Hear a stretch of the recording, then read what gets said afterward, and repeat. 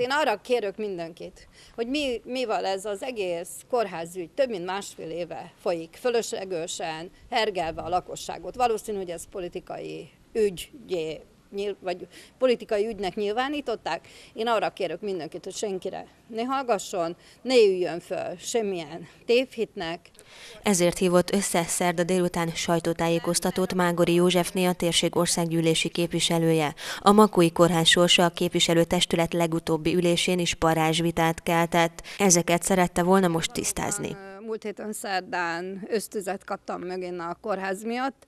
Sajnos csak ezen a héten tudtam utána járni a négy napos ünnep miatt, de minden kérdésre van válasz.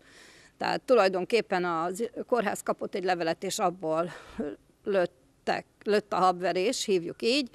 Én szeretném mondani, hogy a két intézménynek az integrációja folyamatban van. December 31-re kell készülni az összeolvadásnak. Egy intézmény lesz kettő darab telephelyjel, egy igazgató lesz, és január 1-től itt lesz egy ilyen telephely vezető valaki. Szó volt arról, hogy a sebészet be fog zárni, mert négy sebész van, akiknek nincs dolga.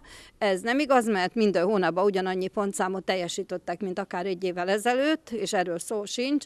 Volt szó arról, hogy a traumatológia osztály nem kapta meg az egyes besorolási szintet, ez se igaz, azt is megkapta, és innentől kezdve a baleseti sérülteket is idehozzák, kivétel a koponyon sérülteket, akiket viszont eddig se hoztak ide.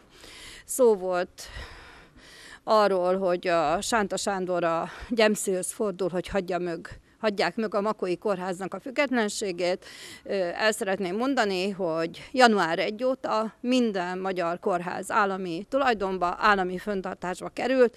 Egyetlen magyar intézménynek sincs meg a semmilyen függetlensége, mert állami kórház, így Makótól, tehát Makón se teljesíthető ez az óhaj. Az államnak meg az a célja, hogy egy progresszivitási szintnek megfelelő jó ellátást biztosítson minden tájkörzetben, így a Makói kórházba is. Úgyhogy ezzel nem kell aggódni. Ez egy új tulajdonforma és egy új működtetési forma, és a szavakon kár lovagolni. Nem erről szól a történet, ami, ahogy az Sánta doktor úr érti.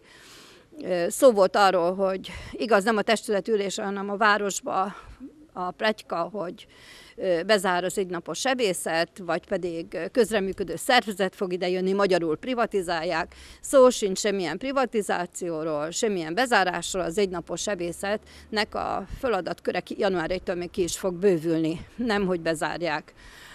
Nagy kérdés az, hogy a nappali kórház megkapja a működési engedélyt a Makói kórházzal együtt működve, de a fürdőbe, na ebből biztosan nem lesz semmi, mert ez csak egy trükk lett volna, egy olyan trükk, hogy a kórházba ide fölveszik a betegőket, a fürdőbe irányítják, és tulajdonképpen az OEB bevétel mind a fürdőhöz megy a kórház kárára. Na ebből biztosan nem lesz semmi.